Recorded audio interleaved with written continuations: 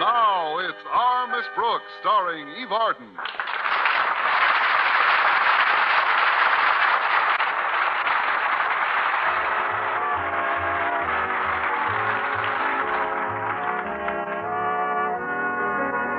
Well, the first few weeks of the new semester have uh, proven lucky for our Miss Brooks, who teaches English at Madison High.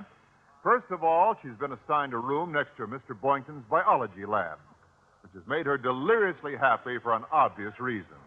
Mr. Boynton is still the most beautiful specimen in his lab. oh, it's wonderful. Now I see him before every class, after every class, and when he runs out during class to the water cooler, I manage to get there just in time to bump heads. Life at Madison would really be a dream this semester if it weren't for an unusual student who was assigned to my class last Monday. The newspapers carried the headline on Tuesday morning. Retired local business tycoon returns to complete high school education at Madison. Gets special permission from state board. That morning, I found myself teaching 42 normal adolescents and one 62 year old juvenile delinquent. the following Friday morning, I was telling my landlady, Mrs. Davis, about my strange new student when she said, Connie, you say this new boy is 62 years old? That's right, Mrs. Davis. Goodness. He's taking quite a while to finish high school, isn't he? what does he expect to be when he grows up? A little old man. And he doesn't have too far to go. You see, Mrs. Davis, Mr. Lathrop was an important business executive locally, but he always bemoaned the fact that he'd never completed high school in his youth. Oh, I see. The war interrupted his education. Yes, he probably would have completed it if the North hadn't gone to war with the South. Well, I give him credit, Connie. I was discussing it with Widow Henderson only last week. A person without learning nowadays is lost. We both wish we'd completed our schooling. A good high school education never hurt anybody. I'm not so sure. If he were in charge, he would run Madison High as if it were a subsidiary of General Motors. Instead of a principal, there would be a corporation president. The student council would be the board of directors. And the teachers, what would they be? The labor problem. no, actually, we didn't get around to the teachers. Well, of course, he can't do those things, can he? Who knows? Besides being very influential in town, Mr. Lathrop is a very close friend of Mr. Stone, the head of the board. And even Mr. Conklin keeps on his toes when Lathrop is around. Oh, I'll answer it, Mrs. Davis. Hello? Hello, Miss Brooks. Walter. Yeah, I'm sorry, but I won't be able to drive you to school today on account of an athletic meeting I have to attend. Oh, that's right, Walter. After all, you are manager of the football team. Uh, correction, Miss Brooks. As of yesterday, I am the majority stockholder. what? Yeah, Mr. Lathrop incorporated us. We are now the Amalgamated Football, Basketball, Soccer, Ice Hockey, and Ping Pong Corporation of Madison High. Really? When do you sell out to Howard Hughes? but since you're not driving me to school, Walter, I'd better say goodbye now and get started for the bus. Oh, you don't have to go by bus, Miss Brooks. Old Blue Chips is calling for you in his brand new Cadillac. Mr. Lathrop calling for me? Sure. When he heard I couldn't make it, he volunteered. He says he'll get a real kick out of driving his teacher to school. He, he wants to do it permanently. Well, see you at school, Miss Brooks. By the time I get there, I'll probably be incorporated. Goodbye, Walter. Did I hear right, Connie? Is Mr. Lathrop picking you up? Not only that, but he may never put me down. he plans on doing it every day, and oh, here he is now. I'll get it. Madison, oh, Madison, hail to thee, oh, Madison. Don't mind me, Miss Brooks. I feel like a kid again, a gay, light-hearted 15-year-old. Well, wipe your feet and come in, Sonny. Oh, yes, yes, of course. Uh, Sonny, I mean Mr. Lathrop. Meet my landlady, Mrs. Davis.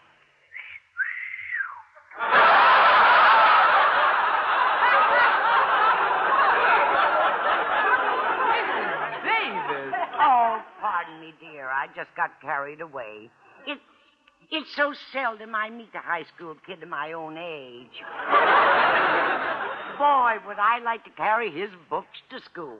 But, uh, madam, it's up to a boy to ask a girl to carry her book. Well, she's not taking any chances. now, I think we'd better. Mrs. Davis, stop staring at Mr. Lathrop and close your mouth. but uh, not so close to my arm. Um, uh, had we better be leaving for school, Miss Brooks? I have a business efficiency idea I want to discuss with Mr. Conklin.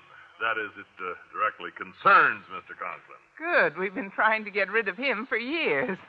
I mean, uh, we'd better be going now. Well, uh, goodbye, Mrs. Davis. I'll uh, I'll be seeing you. When? Mrs. Davis, please. please let go of Mr. Lathrop's tie. Come on, Mr. Lathrop, while you still can.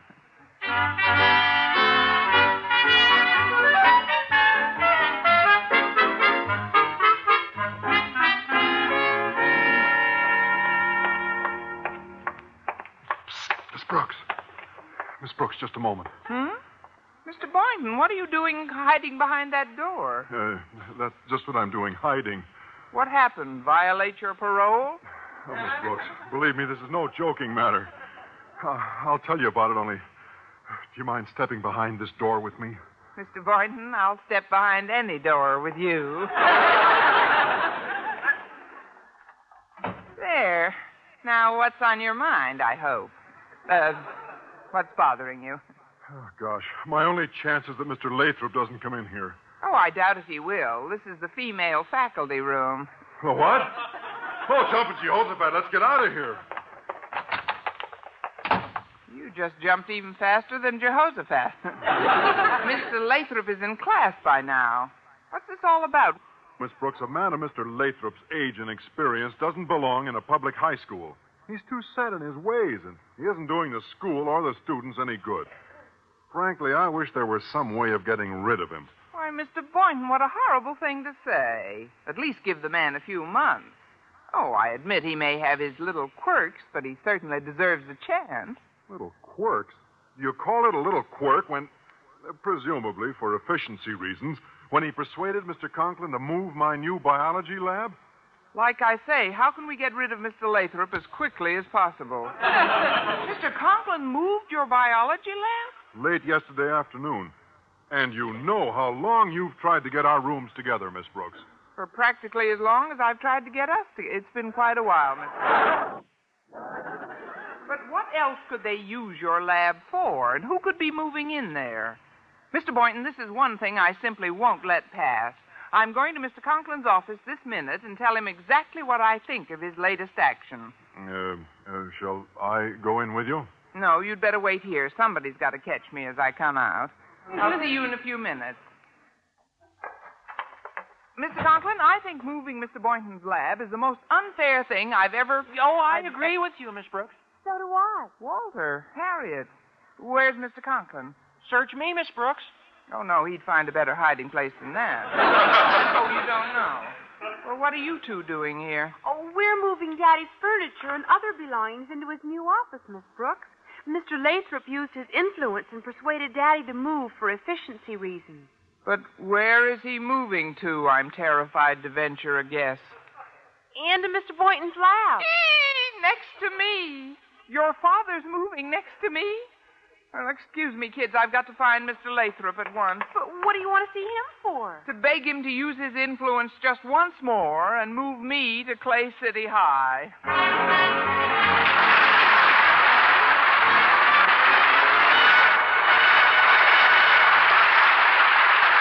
Obviously, something had to be done about Mr. Lathrop. So, with typical courage, at noon, fearless Osgood called an emergency conference, which was to be completely open and above board, down in the boiler room.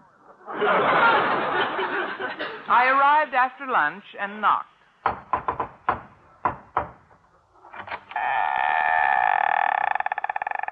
Who goes there? Friend or foe? It's me, sir, Miss Brooks. The secret password, please. Lathrop must go. Enter friend.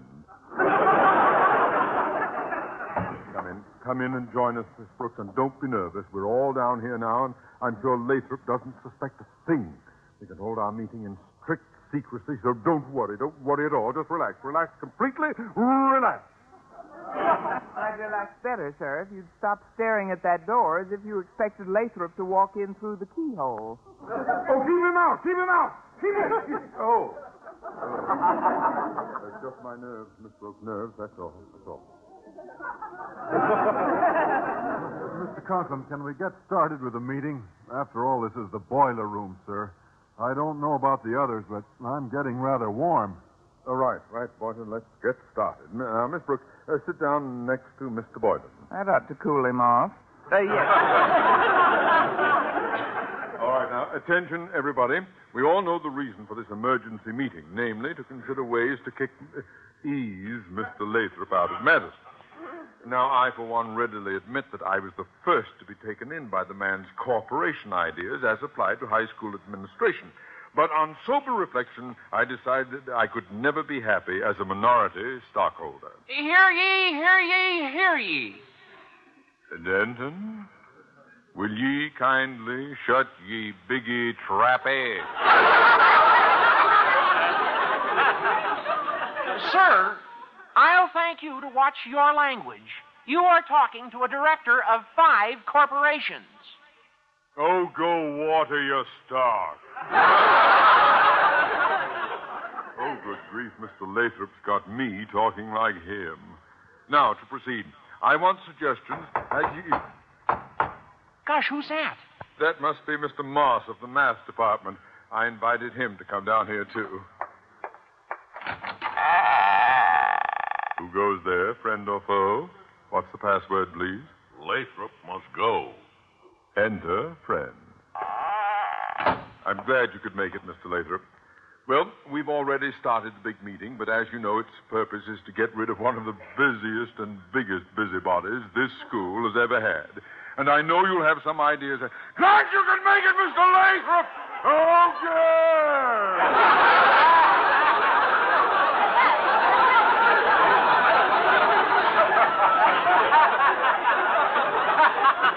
I'll open the furnace door if you care to jump in, sir. Uh, well, I do hope I'm not uh, barging in on something, Mr. Conklin, but I overheard Mr. Moss discussing his meeting with Miss Perkins, and I just couldn't resist. That's one of the reasons I, I came back to high school. I love secret fraternity meetings. well, uh, this, this isn't really a meeting, Mr. Lathrop. It's, it's, it's just a friendly little bull session. But, uh, Miss Brooks, uh, So there's a friendly little cow here and there. Well, actually, Mr. Lathrop, it's a, a business conference. That's what it is, a business conference. a business conference, that's wonderful. Well, let's start with selling. And here at Madison, we're selling education. Right? Now, sound plant operation calls for maximum sales with economy of reserves.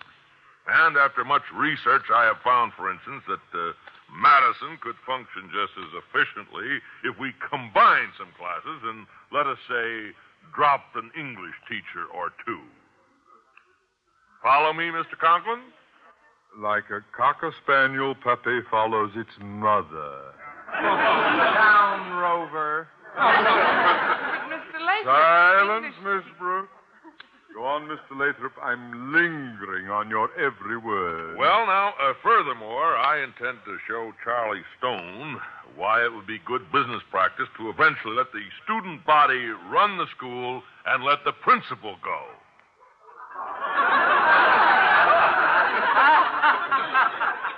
what? Well, it's a wise cocker spaniel who knows its own mother. But, Mr. Lathrop, you, you wouldn't Oh, really. Great Scott, it's time for my history class. I'll see you all later. Oh, Madison, my Madison, Did you hear him? Oh, a man like that shouldn't try to bring his methods to high school. He's simply trying to recapture his past. He doesn't belong with the kids. He belongs with his own generation. Say, wait a minute. His generation. Yes, why not? Why not what? Listen, if we can surround Mr. Lathrop with elderly people in his class, he may decide to quit. And I think I know just the elderly people to join him. Miss Brooks, permit me to remind you, I am running a high school here, not a rest home for 83 year old adolescents. Yeah, boy, at this rate, I won't remember Madison for its ivy covered walls, but its ivy covered students. On the other hand, desperate diseases require desperate remedies. Uh, just how would your plan work, Miss Brooks? Well, I'm fairly certain I can persuade Mrs. Davis and the widow Henderson to join his class. And you think that would do it, eh? Mr. Conklin, when those two flappers get to work on Mr. Lathrop, by this time tomorrow, he may decide to complete his high school education in Mexico.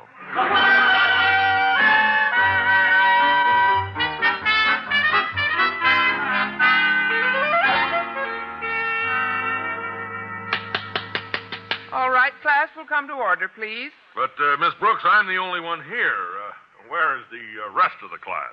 The rest of the class?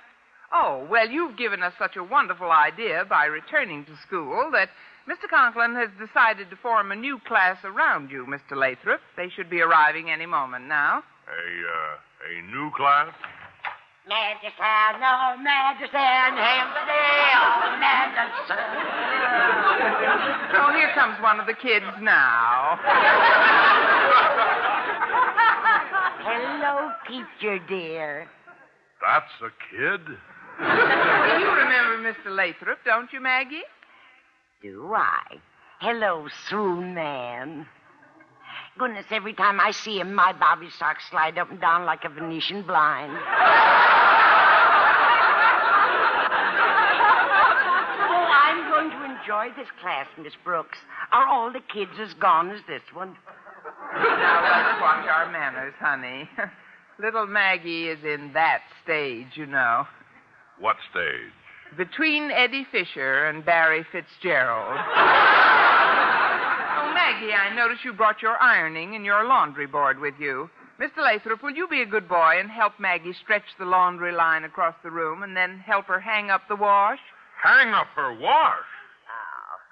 The dear boy's shy.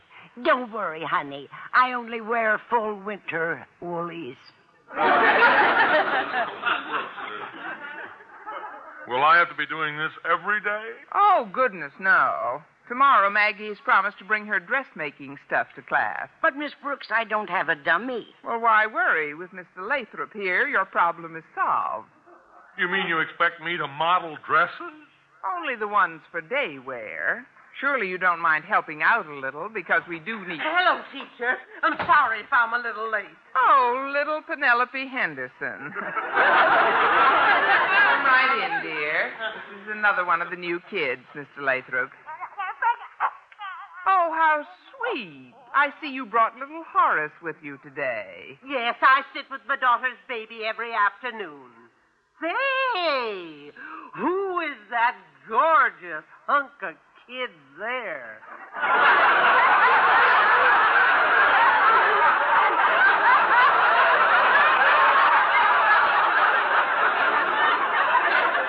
Now, Penelope, watch your manners. I want you to meet Mr. Lathrop. He... Penelope, you keep those fat hams of yours off him. I saw him first. Ah, now, Maggie. Oh, please excuse old Mag, Mr. Lathrop. She's always a bit irritable until her Social Security check comes in. Oh, look who's talking. The girl who remembers Lincoln's mother. Oh, is that so?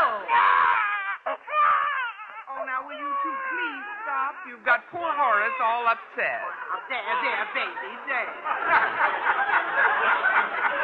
Here, Mr. Lathrop, you hold him. He likes me. Uh, But, but uh, I don't know how to hold a baby. Oh, it's easy. Just hold him by the head.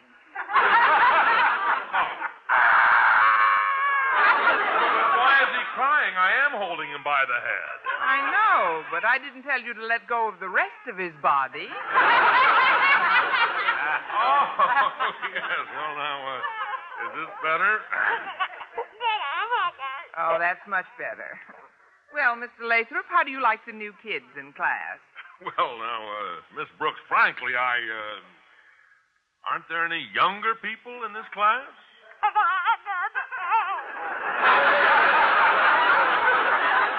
Well, you couldn't ask for anything younger than that.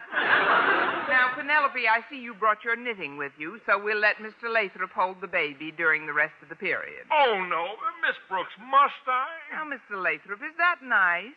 After all, you brought your business ideas into Madison, and we accepted them. Certainly, you can't mind if these other kids bring their way of life into our school, too. Now, Penelope, sit down. Any place. How can I? Little Horace is already in Dream Boy's lap. Penelope Henderson, I told you to keep away from him. I saw him first, and I'm sitting on him. Up next to him. Maggie, you know you shouldn't. You know what the doctor said about any excitement and your high blood pressure. Penelope, one more word, just one more word, and I'll expose the entire history of your liver.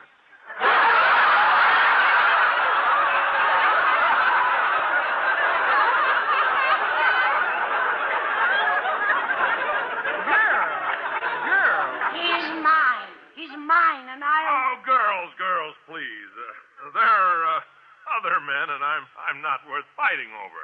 That's true, but you're all that's available at the moment. Now, girls, I want all this stopped at once. Well, tell panting Penelope to stop flirting.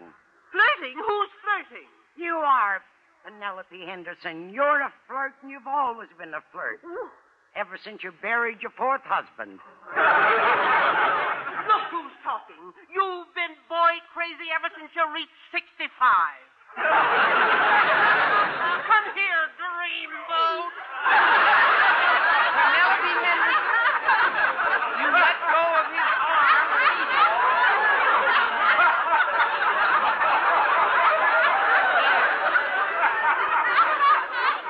Penelope, get your perspiring paws off him. Come here, handsome. Maggie Davis, release his leg this minute. He's mine, I tell you. And I say he's mine. You Get off Mr. Lathrop's chest at once. Oh, now look what you've done. Miss Brooks, are these the only people in my class? Goodness, no, Mr. Lathrop. Tomorrow, Miss Josie Kugelman joins us. She's a regular little tomboy. Been one ever since she turned 70. I'm certain you two will get along. fine. Never mind, never mind. Here's your baby, Mrs. Henderson. I, I've decided I've had enough of high school. I am going to reopen my steel plant. Oh, please stay, honey. If you do, I'll let you dip my pigtails in the inkwell. Ooh, what a revolting thought. well, I'm getting. Well, what's going on in here? As I was passing in the hall, it sounded like some sort of a rumpus. Why, why, Mr. Lathrop, you're all disheveled. But I don't understand. Well, maybe you can understand this. I'm leaving Madison, Mr. Conklin. I'll write you all about it. Goodbye.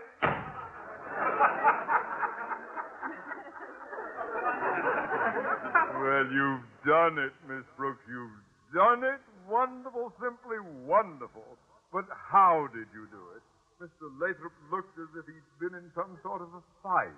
You've heard of the Battle of the Sexes, Mr. Conklin. Why, yes, but what's that got to do with it? Well, Mr. Lathrop couldn't stand being used for ammunition.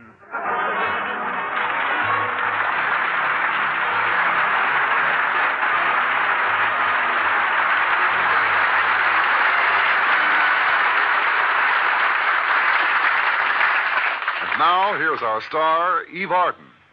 Well, Mr. Lathrop found high school quite a headache, so he went back to the steel business. Thank you so much, Mrs. Davis, for your cooperation, and you too, Mrs. Henderson. And you too, Horace. Well, you're free to go home now. Oh, we're not going home. What? No, indeed. We're staying.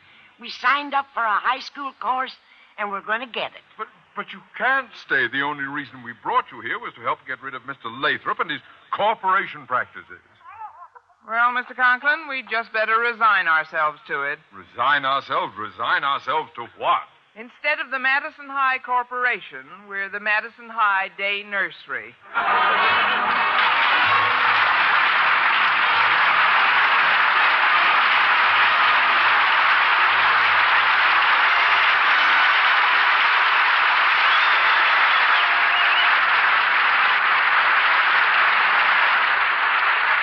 Brooks, starring Eve Arden, transcribed, was produced and directed by Larry Berns.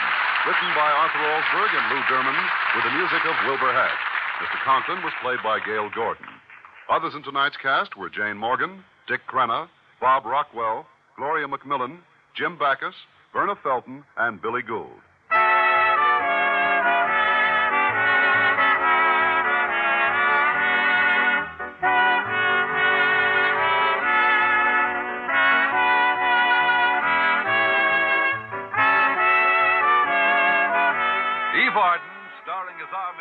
Will be back again next week at this same time.